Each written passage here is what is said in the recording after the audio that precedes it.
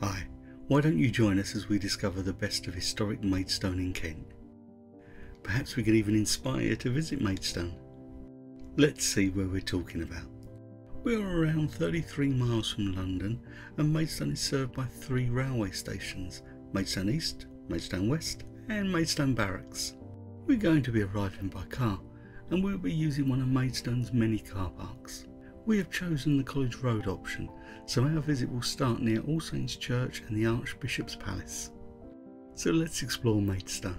And I am literally starting in the car park with the Master's Tower to my left and the College Gateway in front of us. And this is the Master's House, built of the same Kentish ragstone. These form part of a collegiate church built in the late 14th century, so that makes them roughly 600 years old through the arch and grab a glimpse of All Saints Church, but we'll return a little later. I think Maidstone's history gets overlooked because it's a busy town and people see this every day. As they say, familiarity breeds contempt. We step onto College Road and discover the late Victorian All Saints Church of England School and the Cut Bush Almshouses. We've slipped into College Avenue to catch another part of the original College of All Saints, now known as the Ruined Gateway. We're now heading back to All Saints via the Hermitage Millennium Amphitheatre as a group practices their dance moves. There's seating for around 250 here and normally it's a quieter space where you can just sit back and relax next to the river. And now we get our first glimpse of the River Medway which weaves its way through Maidstone before heading onwards to join the River Thames. And that's the Lock Meadow Millennium Bridge which gives us easy access to Maidstone West Station about 5 minutes away. We're going to head across it, but for a different reason. It gives you some pretty views of the River Medway towards Maidstone, as well as views back towards the Church of All Saints and the Archbishop's Palace. And a sight that has got me thinking about exploring the banks of the River Medway.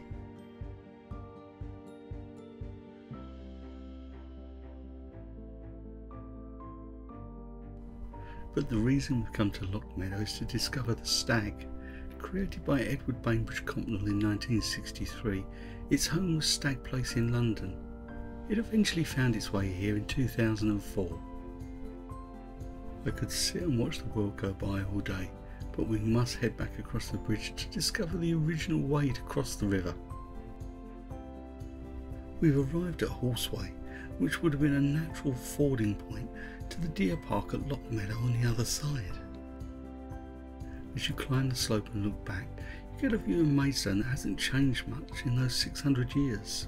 It's time to have a look at All Saints Church, and I have to be honest, I'm a little disappointed.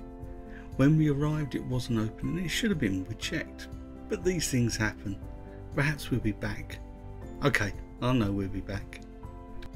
Around the back of the church, you get views over Lockmeadow and the River Medway and there are plenty of ways to enjoy the river. We now move on to the Archbishop's Palace. Originally there was a manor house on this site where bishops would rest on the journey from London to Canterbury. Then in the 14th century a palace was built here, later exchanged with Henry VIII for other properties. Further additions were made in the 16th century, creating the White End sections. Now let me introduce you to the Apothecary's Garden only open on Wednesdays between May and August. A place of peace and tranquility.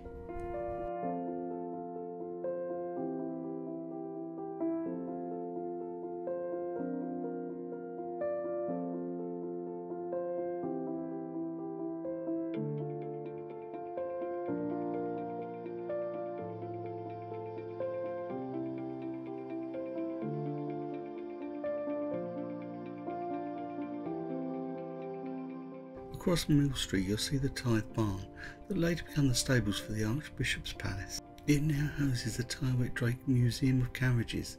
I'm told it has a fine collection of over 60 vehicles. The problem is since COVID it is only open to pre-booked groups of 10 or more. Here we have the modernist 1930s Rootes building behind the mill pond fed by the River Len. It's due to be converted into luxury apartments.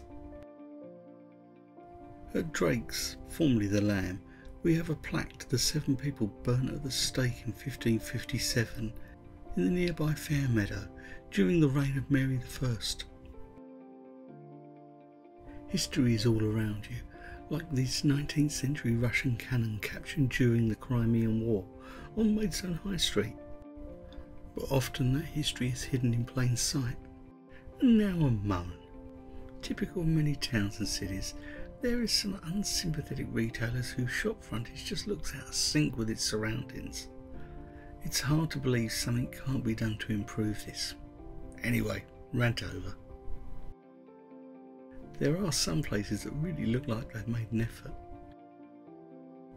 Now the stag looks promising, but I'm told we don't have the time. But as I said before, the secret is to look up, and Bank Street in Maidstone is there to prove that point. I mean, check out number 78 Bank Street, and then there's number 89, but they're not all as old as they appear. 1913 this one, but it's still listed. Maidstone Town Hall dates from the mid 18th century and it's had a few different uses over the years. Across the road, the Muggleton Inn, a J.D. Wetherspoon's pub, started life as the Royal Insurance Offices in 1827. There are a few plaques around the history you can't see, such as the Battle of Maidstone, fought in 1648 during the English Civil War. This area, now Jubilee Square, was known as Hightown from 1261 until the 1820s and was part of the town's marketplace. In the 1820s it moved to the nearby market buildings and that's where we're heading to next. Next to the Muggleton Inn is the entrance to Market Buildings. Here you'll find yourself in a quirky little lane with an eclectic mix of shops, bars and eateries. The colonnaded walkway runs alongside what would have been the old Corn Exchange. On the left is Royal Star Exchange, one of Maidstone's little shopping arcades. And on our right is Maidstone Distillery, bringing back a time-honoured tradition to the town. Then we stumble across Frederick's Cafe and Bistro, and Patisserie and Wine Shop. Ulrich, sorry, Frederick, is taken over this part of Market Buildings. It looks like in this part of Maidstone we've become a little bit French. Stepping onto Earl Street, we come across the Hazlitt Theatre, which also shares the former Corn Exchange. Earl Street, which will take you down to the river, is also full of restaurants. These are more the chain variety, which you may be familiar with. This building was home to Andrew Broughton, who read out the death sentence on Charles I, so there's still plenty of history here. Further down Earl Street is the 15th century Corpus Christi Hall, which is now home to La Taberna, a family run Spanish restaurant.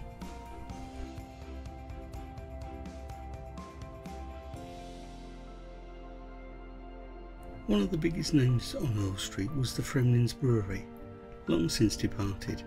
Fremlin's Walk has now occupied that space, another of Maidstone's shopping complexes, but we're passing through to reach St Faith Street.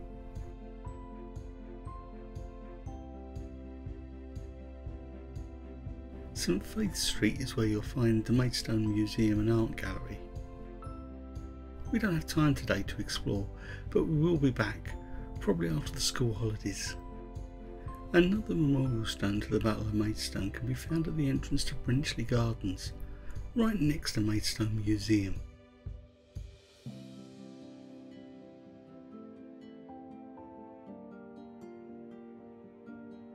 Brenchley Gardens is a wonderful little park that is also home to a war memorial to the glorious dead that looks remarkably similar to the cenotaph in London's Whitehall.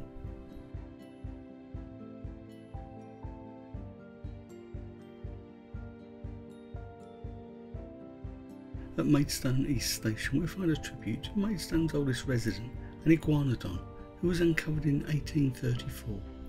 Across the road you'll come across old Sessions House, the facade is relatively modern, 1911 to 13, but behind the gates is the 1824 original. It is now home to County Hall, the home of Kent County Council. We've now taken the footpath beside Maidstone East Station to bring us to the towpath alongside the River Medway. To the north takes us past Aylesford, Rochester and Chatham into the Thames. The stroll south takes us back towards the Archbishop's Palace. I hope you like what we put together here. If you do, give us a like. We'd really appreciate it. And why not subscribe so you don't miss any of our future content? So thanks to Simon Tandy who asked why not do a video on Maidstone? And a big thank you to you for watching. Stay safe, stay well, and happy travels.